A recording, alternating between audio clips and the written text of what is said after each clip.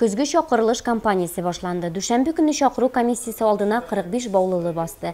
Комиссияшы алдынан Харби комиссариятның шақырылыш бүлігі начальнигі Марит Гарифулин егетләргә инструктаж үткәрде. Хукуклары, бурычлары һәм килеп чыккан ситуацияләрдә үзләрен ничек тотарга кирәклекләре турында сөйләп үтте.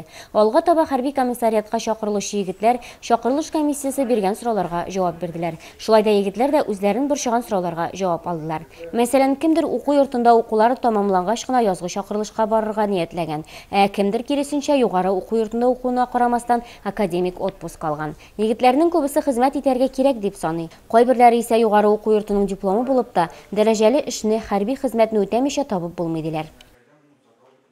В армии сам не хочу, а надо. Где хотел бы служить? Хотел бы служить, ну, в элитных войсках, или спорtroта, или или спецназ.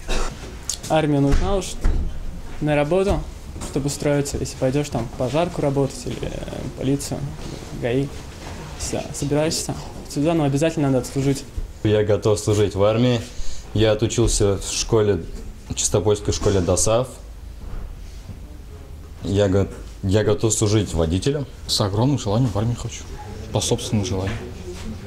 Где бы хотел служить? Э, спортроте. Көзгү шақырылыш үзенчәлекләре турында шақыру бүлеге начальнигы Марат Гарифуллин сөйләп үтте. Особенности данного призыва является то, что основной упор делается на мальчиков, имеющих высшее образование и среднее профессиональное образование, имеющие военно-учетную специальность, водитель, радиотелеграфист, водолаз. Также особенностью призыва является отправка мальчиков с высшим образованием на контрактную военную службу по их желанию на два. Если же он изъявляет желание, то на три года. Будет проходить военную службу по контракту.